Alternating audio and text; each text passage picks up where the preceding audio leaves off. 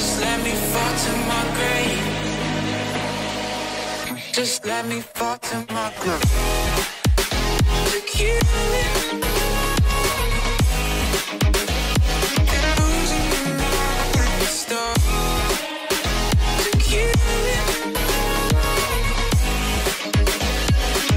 Just let me fall to my grave.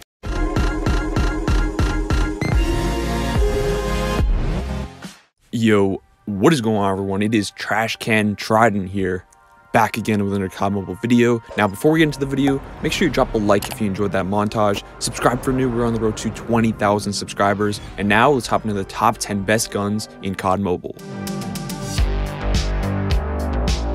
Coming in at the number 10 spot with the KRM 262. Following the nerf to shotguns in Season 12, shotguns haven't been used that much because they've been a lot harder to use. Still, the KRM has been widely considered as the best shotgun in COD Mobile and has been heavily used in the competitive scene, especially in Garena COD Mobile. That's because from 0 to 10 meters, the KRM is a one-shot kill, assuming you hit most of the pellets within your shotgun shot.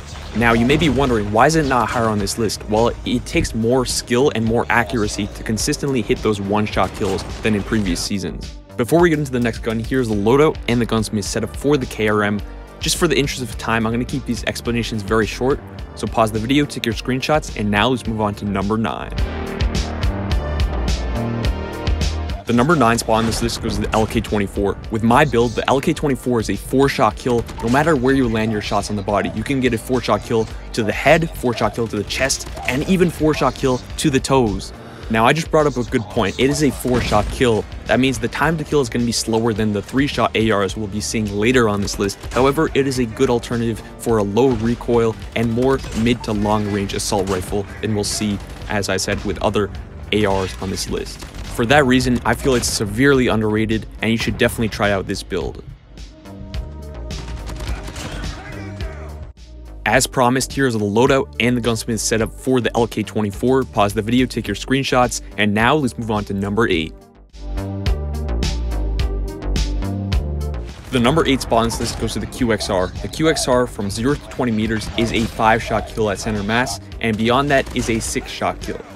With the enhanced bullet perk, it has a very fast fire rate, a little bit slower than the QQ9 though, but that doesn't matter because it has the best bullet spread accuracy out of any SMG on this list. So that makes it pretty viable at those mid ranges. So the conclusion here is yes, the QXR is a very good SMG, however there's a better SMG at close range and a better SMG at long range than the QXR. As always, here's the loadout and the gunsmith setup for the QXR. Pause the video, to take your screenshots. And if you feel yourself running out of ammo, here's one with an extended mag. Now let's move on to number 7.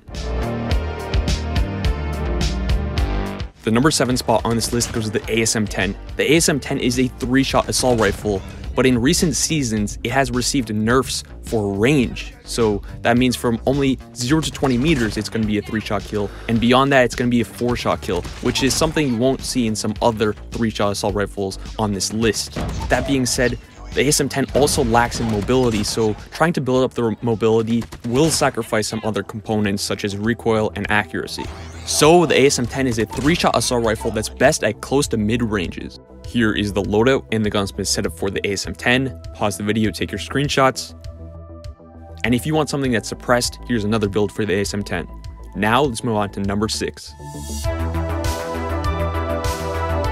The number 6 spot on this list goes to the HVK-30. The HVK-30 is a 4-shot assault rifle with a faster fire rate than the LK-24, making it, in my opinion, the best 4-shot assault rifle in the game right now.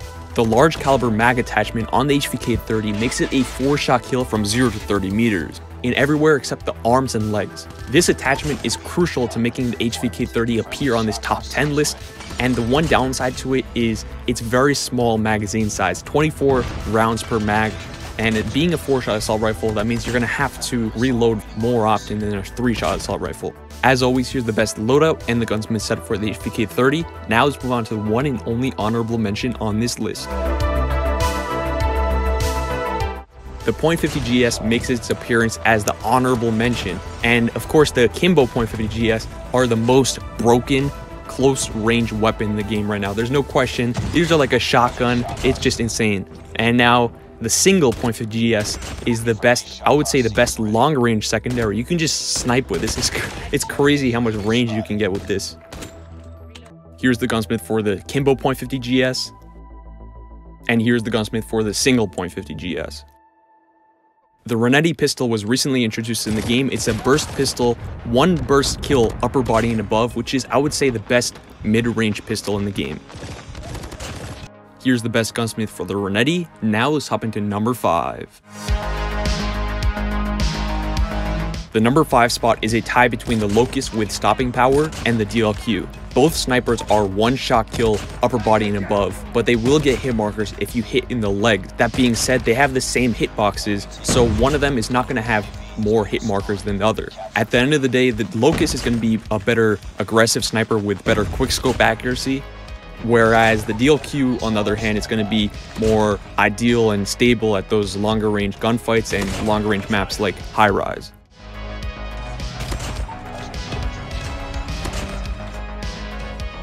Here's the loadout and the gunsmith build with stopping power for the Locust, and here's the gunsmith for the DLQ.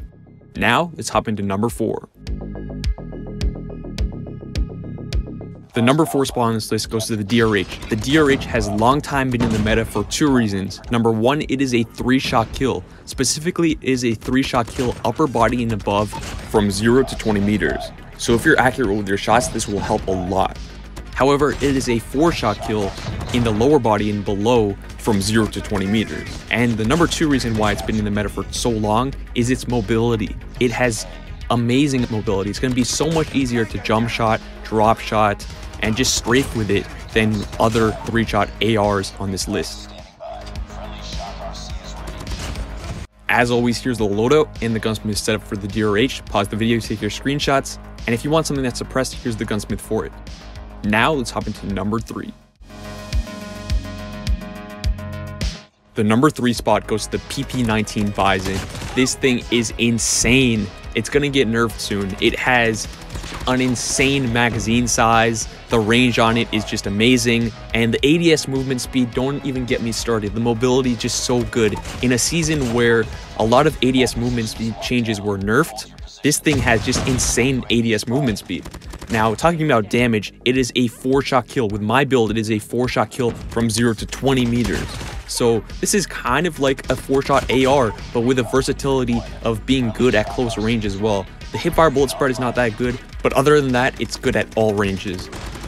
Of course, here's the loadout and the gunsmith setup for the PP19. Pause the video, take your screenshots, and now let's hop into number 2. The number two spot on this list goes to the one and only Man of War. You can tell by its name, the Man of War just is a Man of War. It's a three shot kill from 0 to 30 meters, anywhere on the body. That means three shots to the toes. Yep, that's a kill with a Man of War. The damage output on this is insane, combined with a 25 round mag and the fact that you can just play aggressive and play passive with it. It's it's it's just such it's so versatile, and that's why it's at number two and depending on your playstyle, it could be at number 1. Here's the best loadout and the gunsmith setup for the Man of War. And if you want something that's more aggressive, this is what I recommend. But now, let's finally hop into number 1. The best gun in COD Mobile is the QQ9. The QQ9 is a 4-shot kill from 0 to 10 meters, with the fastest fire rate out of any gun on this list. It has a faster time to kill than the Man of War at 0 to 10 meters, but beyond that, the Man of War takes the cake. However, what makes the QQ9 the best gun is it has much higher mobility than the Man of War, and it has 20 more rounds per clip. This makes it amazing for being aggressive and just spawn trapping, and I think that really fits the meta more than the Man of War. However, the Man of War, as I said, it could be the number one spot. It just depends on your playstyle. And last but not least, here's the loadout and the gunsmith setup for a versatile QQ9 build. And here's something that's really, really aggressive. Alright, you made it to the end of the video. Hope you did enjoy. Now, if you made it this far, be sure to comment recoil down in the comments just so I know you made it this far. But anyways, hope you guys did enjoy the video. Like the video if you enjoyed. Subscribe for new, and I'll see you in the next one. Peace.